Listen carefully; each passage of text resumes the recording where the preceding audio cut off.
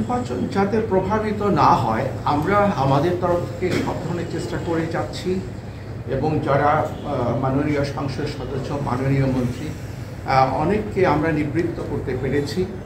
আবার অনেকে হয়তো বা এলাকাতে আছেন এবং সরকারের তরফ থেকেও আমরা যেহেতু দেখেছি সেটা দলীয়ভাবে হোক বা সরকারের তরফ থেকে হোক, যাতে নির্বাচনটা অবাধ ও নিরপেক্ষ হয় এবং কেউ যেন প্রভাব বিস্তার না করেন সেদিক থেকে নীতিগত সিদ্ধান্তটা খুব স্পষ্ট করে জানিয়ে দেওয়া হয়েছে। এবার যে নির্বাচনটা হচ্ছে সেটা মূলত দলীয় প্রতীকে তেমন হচ্ছে না। এটা প্রত্যেকেই ইন্ডিপেন্ডেন্ট প্রার্থী হিসেবে নির্বাচন করতে যাচ্ছেন।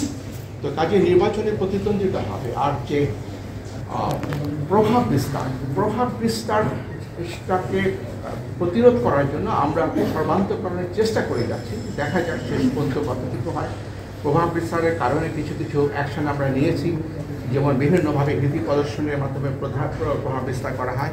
এর মধ্যে একজনকে আমরা ডাকিয়ে এনে তার বক্তব্য শুনে তার প্রার্থিতা বাতিল করেছি এবং এই মেসেজগুলো আমরা রীতিমতো প্রায় প্রতিদিনে আমাদের মাননীয় কমিশনার, আমি নিজেও জেলা প্রশাসক পুলিশ সুপার তাদের সাথে কথা বলে থাকি। এই, এটা কিন্তু নিশ্চিত করতে হবে যেন নির্বাচনটা অবাধ নিরপেক্ষ হয় এবং বিশেষ করে নির্বাচনের দিন যেন ভোট কেন্দ্রে কেউ অনুপ্রবেশ করতে না পারে এবং সেখানে যেন কোনো অনিয়ম না হয়, সেই বার্তাটা যারা রিটার্নিং অফিসার তাদেরকে দেওয়া হয়েছে এবং তারা যেন প্রিজাইডিং অফিসারদেরকে এই বিষয়টি স্পষ্ট করে বলে থাকে। আমরা কোনো বেকায়দায় নেই। আর এটা একটা ভালো দিক যে রাষ্ট্রীয় যে সদিচ্ছা, রাজনৈতিক সদিচ্ছা সেটা যখন বিঘোষিত হয়েছে স্পষ্টভাবে সেটা বরং নির্বাচনকে অবাধ নিরপেক্ষ করার ক্ষেত্রে সহায়ক হবে। তারপর যদি বলে থাকেন কোনো কোনো মাননীয় সংসদ সদস্য বা মন্ত্রী প্রভাবিত করছেন কিনা যদি করে থাকেন আমাদেরকে যদি সেই তথ্য স্থানীয় স্থান থেকে যদি দেওয়া হয় বা গণমাধ্যমের মাধ্যমে যদি আমরা পেয়ে থাকি আমরা কিন্তু তাৎক্ষণিক চেষ্টা করি তদন্ত করে ব্যবস্থা নেওয়ার জন্য। আর নির্বাচনের দিনে আমরা সকলেই সতর্ক থাকব আমাদের একটা কেন্দ্র আছে মনিটর করার এবং আমরা এখান থেকেও কেন্দ্রীয়ভাবে মনিটর করব। আশা করি প্রভাব বিস্তারের বিষয়টি বড় সমস্যা হয়ে দাঁড়াবে না। আর আগামীটা হচ্ছে স্থানীয় সরকারের ভোট। জাতীয় সংসদের ভোট আর এর মধ্যে পার্থক্য তো সেদিক থেকে থাকবে।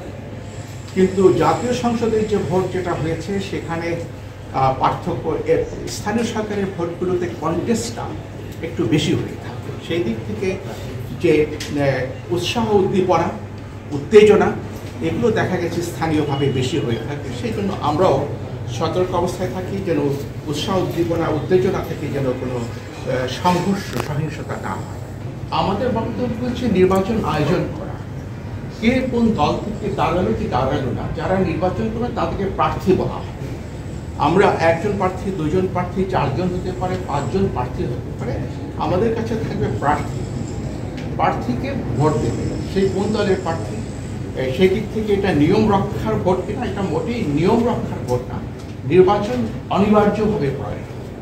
কোনো একটা দেশের যে শাসন ব্যবস্থাকে চালু রাখতে পারে সেটা কারও পছন্দ করতে না হোক এবং স্থানীয় সরকারগুলোকে যদি আমরা চালু রাখতে চাই সেই নির্বাচনটা কারও পছন্দ হোক বা কেউ বর্জন করুক কিন্তু একটা নির্বাচন হতে হবে সেই দায়িত্বটা আমাদের উপর অর্পিত হয়েছে। আমরা সেই দায়িত্বটা পালন করতে পারি। কে কীভাবে নির্বাচনটাকে দেখবেন সেটা আমাদের বিষয় আমরা আমাদের প্রতিদ্বন্দ্বিতা হচ্ছে। নির্বাচনের সবচেয়ে বড় জিনিস যে প্রতিদ্বন্দ্বিতা কেমন হচ্ছে এবং সেটা কেউ আসলো কি আসলো না।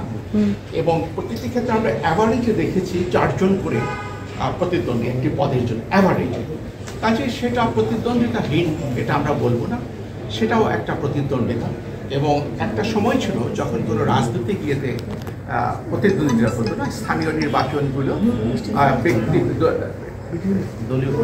দলীয় প্রতীকে না এটা ইন্ডিপেন্ডেন্টলি এটা প্রতিদ্বন্দ্বিতা হচ্ছে ব্যক্তি ব্যক্তি প্রার্থী। প্রার্থী সংখ্যা। আমরা দলীয় প্রতিদ্বন্দ্বিতা দেখতে যাচ্ছি না। আমাদের দায়িত্ব হচ্ছে যে প্রার্থী আছে কিনা প্রার্থীরা কন্টেস্ট করছে কিনা কন্টেস্ট হলে সেই কন্টেস্টটা যেন অবাধ হয় নিরপেক্ষ সেই চেষ্টাটা আমরা করি প্রথম ধাপে বিনা প্রতিদ্বন্দ্বীদের আঠাশ জনের মতো নির্বাচিত হয়েছে। তিন পদে সামনে আরও বিভিন্ন জায়গায় বিনা প্রতিদ্বন্দ্বী